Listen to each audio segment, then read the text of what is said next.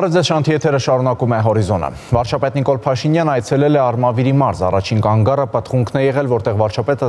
ծանոթացել է տեղի միջնակարգ դպրոցի կառուցման ընթացքին։ Նախագիծն իրականացվում է սեյսմիկ անվտանգության բարելավման ծրագրի շրջանակում Հայաստանի պետական բյուջեի միջոցներով եւ Հայաստան զարգացման բանկի ֆինանսավորմամբ։ Հովտամեջ համայնքում վարչապետը ծանոթացել է Երևանյան եւ Բաղրամյան փողոցների ու մայթերի բարեկարգման աշխատանքներին, որոնք իրականացվել են սուբվենցիոն ծրագրերի շրջանակում։ Իսկ առաքս խոշորացված համայնքի գայի բնակավայրում վարչապետ պետը զրուցել է բնակիչների հետ։ Խնդրահարույց մի հատ հարց է, ասում, յուղացու արտադրած ապրանքի հասման խնդիրը պետության հետողությամբ ինչ է մտածում։ Ինչ եք դուք արտադրում։ Հիբար, վարում, պամիդոր, լոլիկ, ամեն ինչ ունեմ ես։ 20 հեկտար ձեր կպած էլի իրարից ոչ թե ստենդը իրարից կպած 20 հեկտար հողը եւ ավել ինչքան ավել այնքան լավ հավաքում եք գրում եք ստորագրում եք զանգում եք նամակ ուղարկում եք Խոջանի որ մենք այսքան հողատերերով պատրաստ ենք գալ քննարկել գյուղատնտեսական կոոպերատիվ ստեղծելու հարցը մեզ տվեք պայմանները թե ինչ ինչ պետք է անենք դրա համար դուք էլ կամ դուք եկեք ավելի լավ է դուք եկեք նստեք տեղում նայեք պայմանները ասենք թե այդ դեպքում վարկը ինչա Ստե խնդիրը հետեւյալն է ամենակարևոր, այդ որ ասում եք պետությունը կառույց ստեղծի, չէ։ Դուք ձեր մեջից կամ կողքից մի հատ պետքա կառավարիչ բերեք, որ դուք աճեցնեք տակ իրան, ինքը տանի բայց դուք պետք է ընտրեք, դուք իրան աշխատավարձ պետք է տաք։ Հիմա մենք պայմանավորվում ենք, որ Խոջոյանը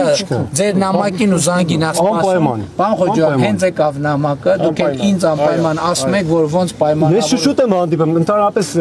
Էս այն դեպքն է որ ասում ենք օգնեք մեզ օգնել ձեզ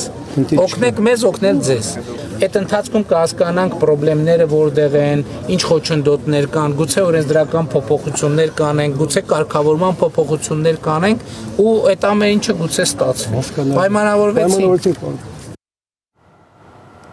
Վարչապետ Նիկոլ Փաշինյանը շնորհավորական ուղերձ եղել Արգենտինայի Հանրապետության նախագահ Ալբերտո Ֆերնանդեսին անկախության տոնի արդի։ Վերահաստատում եմ իմ պատրաստակամությունը համատեղ աշխատելու ձեզ հետ մեր ժողովուրդների միջև պատմականորեն արկա բարեկամական հարաբերությունները առավել ամրապնդելու ուղղությամբ։ Լիահույս եմ, որ կկարողանանք ձևավորել առավել հավակնոտ, փոխշահավետ օրակարգ երկկողմ հետաքրքրություն ներկայացնող բոլոր ոլորտներում իշահ մեր պետությունների եւ ժողովուրդների ասվում է ուղերձում։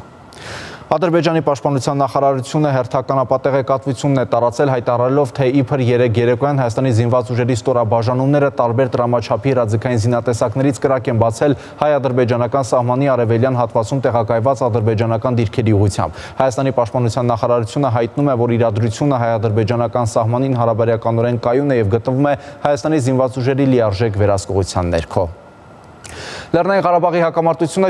չի դադարում գոյություն ունենալ միայն այն պատճառով, որ կողմերից մեկը հայտարարում է, թե այն գոյություն չունի։ Դա ինքնախապեյություն է, ասել է Հայաստանի արտաքին գործերի նախարար Հարարատ Միրզոյանը Հունաստան կատարած այցի շրջանակներում հունական Կաթիմերինի պարբերականին տված հարցազրույցում։ Հարարատ Միրզոյանը անդրադարձել է խաղաղության օրակարգին, երրակողմ հայտարարությունների կատարման ընթացքին եւ Ադրբեջանի պահվածքին։ Չնայած ադրբեջանական իշխանությունների պնդումներին, թե 2020 թվականի 44-օրյա պատերազմից հետո Լեռնային Ղարաբաղը որպես սուբյեկտ այլևս գոյություն չունի եւ իր հակամարտությունն ավարտված է, իրականությունն ու միջազգային հանրության դիրքորոշումը հակառակն են ապացուցում։ Լեռնային Ղարաբաղը գոյություն ունի, գոյություն ունի իր հայ բնակչությամբ, որը շարունակում է ապրել իր նախնիների հողում եւ որի անվտանգությունն այժմ ապահովում են ռուս խաղաղապահները։ Համաձայն 2020 թվականի նոյեմբերի 9-ի Երակոմ հայտարարության, որով դադարեցվեց ավերիչ պատերազմը, հակամարտությունը չի դադարում գոյություն ունենալ միայն այն պատճառով, որ կողմերից մեկը հայտարարում է, թե այն գոյություն չունի։ Դա ինքնախապեյություն է։ Ավելին մեր բազմաթիվ միջազգային գործընկերների եւ կազմակերպությունների, այդ թվում միջնորդ երկրների պաշտոնական հայտարարությունները նույնպես հստակ ցույց են տալիս, որ Լեռնային Ղարաբաղի հակամարտությունը դեռևս վերջնական կարգավորում պետք է ստանա բանակցությունների միջոցով ԵԱՀԿ Մինսկի խմբի համանախագահության մանդատի ներքո։ Կարգավորում, որը կերաշխավորի Արցախահայության անվտանգությունը եւ բոլոր իրավունքների պաշտպանությունը եւ համապատասխանաբար դրանից բխող Լեռնային Ղարաբաղի վերջնական կարգավիճակը։ Իրավիճակը հարավային Կովկասում շարունակում է մնալ փխրուն։ Մինչ Հայաստանն իր գործողություններով ձգտում է վերսկսել խաղաղության համապարփակ բանակցությունները, այդ թվում Լեռնային Ղարաբաղի հակամարտության կարգավորման շուրջ եւ դրանով իսկ կայունություն եւ խաղաղություն հաստատել տարածաշրջանում, Ադրբեջանը շարունակում է սադր ցուցադրիչ գործողությունների եւ ուժի կիրառման սպառնալիքների իր քաղաքականությունը։ Ուկրաինայի ստեղծման իրավիճակից հետո ադրբեջանական զինուժը ներխուժեց Լեռնային Ղարաբաղի Փարուխ գյուղ, որին նախորդել էին գյուղերի եւ քաղաքացիական ենթակառուցվածքների շարունակական ռմբակոծությունները։ Հարևան գյուղերի խաղաղ հայ բնակչությանը ուժի կիրառման սպառնալիքների ներքո հասցեագրված կոչերը լքելու իրենց տները, աննախադեպ ցուրտ եղանակային պայմաններում գազատարի աշխատանքի մի քանի շաբաթով խափանումը եւ այլն։ Ներկայումս երբ աշխարհի ուշադրությունը սևեռված է Ուկրաինային, Ադրբեջանը ցանկացած պահի կարող է լայնածավալ սադրանք սկսելու փորձ կատարել։ Ոստի չափազանց կարևոր է, որպեսզի միջազգային հանրության կողմից արդյունավետ քայլեր ձեռնարկվեն հարավային Կովկասում իրավիճակի ապակայունացման փորձերը կանխելու համար։ 2021 թվականի հունվարի 11-ին եւ 2021 թվականի նոյեմբերի 26-ին Ռուսաստանի միջնորդությամբ ընդունված Երակոմ հայտարարություններին եւ Բրյուսելում ձեռք բերված պայմանավորվածություններին համահունչ Հայաստանը կառուցողական երկխոսություն է սկսել Ադրբեջանի հետ հարաբերությունների ընդհանուր կարգավորման, երկու երկրների միջև սահմանազատման եւ սահմանային անվտանգության, ինչպես նաեւ տարածաշրջանային տնտեսական կապերի եւ տրանսպորտային հաղորդակցության ապաշրջափակման ուղղություններով։ Մենք վերահաստատում ենք բոլոր ուղղություններով կառուցողական ջանքեր գործադրելու մեր հանձնառությունը եւ ցանկանում եմ ընդգծել, որ գործընթացը շատ ավելի հարթ եւ արդյունավետ կընթանար, եթե Ադրբեջանը զերծ մնար իր վտանգավոր առավելապաշտությունից եւ հայատյաց ռետորաբանությունից։ Դադար էր պատանդարության մեջ պահել բազմաթիվ հայ ռազմագերիների եւ քաղաքացիական անձանց, ոչնչացնել հայկական մշակութային եւ կրոնական ժառանգությունը, խոչընդոտել միջազգային մարդազիրական գազམ་ակերպությունների մուտք Լեռնային Ղարաբաղի հակամարտության գոտի եւ այլն։ Ընդհանուր առմամբ մենք կարծում ենք, որ չնայած այն ամբողջ այրյանն ու ատելությանը, որը եղել է տարածաշրջանում, հարավային Կովկասում խաղաղության իրական հնարավորություն կա։ Հայաստանը բազմիցս վերահաստատել է երկարաժամկետ կայունություն հաստատելու եւ տարածաշրջանում խաղաղ զարգացման դարաշրջան բացելու իր պատրաստակամությունը։ Միևնույն ժամանակ ակնհայտ է, որ այդ ջանքերը չեն կարող միակողմանի լինել, եւ այդ ուղությամբ մենք ակնկալում ենք նույնքան կառուցողական մոտեցում եւ անկեղծ գործնական քայլեր ադրբեջանական կողմից։ Համատեղության կարգով Դոմինիկյան Հանրապետությունում Հայաստանի արտակարգ եւ լիազոր դեսպան Անահիտ Հարությունյանն իր հավատարմագրերն է հանձնել Դոմինիկյան Հանրապետության նախագահ Լուիս Ռոդոլֆո Աբինադեր Կորոնային։ Պաշտոնական արարողությանը հաջորդած առանձազրույցի ընթացքում նախագահ Աբինադերը շնորհավորելով դեսպան Հարությունյանին Դոմինիկյան Հանրապետությունում Հայաստանի առաջին դեսպան նշանակվելու կապակցությամբ հույս է հայտնել, որ վերջինիս իր ողջ ջանքերը կներդնի երկու երկրների եւ ժողովուրդների միջև հարաբերությունների զարգացման եւ երկկողմ օրակարգը բազմաբովանդակ դարձնելու ուղղությամբ։ Զրուցակիցներն առանձնակի կարևորել են համագործակցությունը զբոսաշրջության եւ բարձր տեխնոլոգիաների ոլորտում։ Վերջին տեղեկությունները ուկրաինական ռազմաճակատից, չնայած այսպես կոչված օպերատիվ դաթարի ռուսները շարունակում են հարձակողական գործողությունները Դոնեցկի ուղությամբ, ունեն նաև որոշակի հաջողություններ Լիսիչանսկից արևմուտք։ Ռազմական գործողություններն Ուկրաինայի արևելքում չեն դադարում։ Լուգանսկի մարզի ղեկավարը հայտարարել է, որ ռուսները բաց չեն թողնում Դոնեցկի խորքը շարժվելու ոչ մի փորձ։ Սերգեյ Գայդայի խոսքով ռուսական բանակը հարձակվում է մի քանի կողմերից։ Այն հատվածներում, որտեղ նրանց համար անարմար է առաջ գնալ, նրանք իսկապես դժողք են ստեղծում, գնդակոծելով հորիզոնում հայտնված տարածքները։ Վտանգն ամենուր է՝ Կրեմնայից մինչև Պոպասնայա։ Չկա ոչ մի օպերատիվ դաթար, հակառակորդը շարունակում է գնդակոծել մեր տարածքները նույն ուժգնությամբ, ինչ նախկինում։ Լուգանսկի մարզի ղեկավարը նշել է նաև, որ ռուսներն ունեն որոշակի հաջողություններ եւ շարունակում են հարձակումը Լիսիչանսկից արևմուտք։ Ուկրաինայի փոխվարչապետն էլ կոչ արել Ռուսաստանի կողմից գրաված Խերսոնի եւ Զապորոժիայի շրջանի բնակիչներին տարհանվել։ Իրինա Վերեշյուկը հայտարարել է, որ ուկրաինական բանակը այդ տարածքներում փորձում է հակահարցակման դիմել եւ այդ ուղություններում պետք է աշխատի հրետանին։ Ռուսական կողմը այս լուրը չի մեկնաբանել, սակայն բազմիցս հայտնել է այս շրջաններում դիվերսիաների մասին։ Ռազմական գործողությունների ընթացքից այլ տեղեկություններ է հաղորդել Ուկրաինայի զինված ուժերի գլխավոր շտաբը։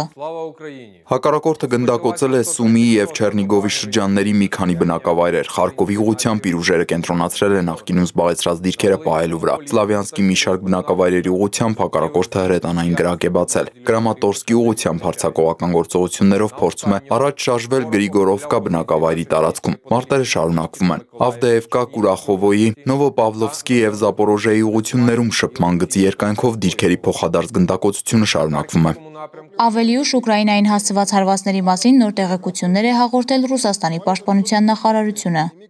Չասովյար բնակավայրում Ռուսաստանի օդատիեզերական ուժերի գերճշգրիտ զինատեսակներից ոչնչացվել են ամերիկյան 155 մմ տրամաչափի հաուբիցներով անգար, ինչպես նաև մինչև 30 զինվորական, որոնք գնդակոծում էին Դոնեցկի բնակելի թաղամասերը։ Օպերատիվ մարտավարական եւ բանակային ավիացիան հրթիռային ուժերն ու հրետանին ոչնչացրել են զինամթերքի 5 պահեստներ, ինչպես նաև ռազմական տեխնիկայի վառելիքի պահեստարան։ Ռուսաստանի օդատիեզերական ուժերի Սու-35 եւ MiG-31 ինքնաթիռները Նիկոլաևի շրջանում խոցել են Ուկրաինայի ռազմաօդային ուժերի 2Սու-25։ Բացի դրանից ռուսական հակաօդային պաշտպանության համակարգերը ոչնչացրել են ուկրաինական 15 անօթաչու թռչող սարքեր։ Ռազմական գործողությունների մեկնարկից ի վեր առնվազն 11.5 միլիոն ուկրաինացիներ ստիպված լքել են իրենց տները։ Համաձայն ՄԱԿ-ի զեկույցի նրանցից ավելի քան 5 միլիոնը ապաստան է գտել հարևան երկրներում, իսկ 6 միլիոն մար դարձել են ներքին տեղահանված։ Այս ամենին զուգահեռ Միացյալ Նահանգների նախագահը հայտարարել է Ուկրաինային 400 միլիոն դոլարի չափով լրացուցիչ ռազմական օգնության հերթական փաթեթի հատկացման մասին։ Պենտագոնից հստակեցրել են, որ այդ փաթեթի մեջ կներառվեն 4 հայմարս համազարգային կրակի ռեակտիվ համակարգեր, դրանց համապատասխան զինամթերք, հրետանային արկեր, 3 մարտական մեքենաներ, հակամարտկոցային համակարգեր եւ այլ ռազմական տեխնիկա։ Պենտագոնի տվյալներով Վաշինգտոնը խոստացել էր Ուկրաինա ուղարկել 12 հայմարս համակարգեր, որոնցից 8-ն արդեն փոխանցվել են։ Գերատեսչությունում նշել են, որ Ուկրաինային ամերիկյան ռազմական օգնության ընդհանուր ծավալը 2021 թվականի հունվարից գնահատվում է մոտ 8 միլիարդ դոլար։ Միացյալ Նահանգներում Ռուսաստանի դեսպանը դատապարտել է այս որոշումը եւ ընդգծել, որ սրա հետևում կանգնած է հակամարտությունը ցանկացած գնով երկարացնելու Վաշինգտոնի անսանց ցանկությունը։ Դեսպանատան տարածած հաղորդագրության մեջ նշվում է, որ ԱՄՆ-ից ստացված զենքն օգտագործվում է ոչ թե պաշտպանական, այլ Դոնբասի քաղաքները ոչնչացնելու նպատակով։ Anahita Kopian Horizon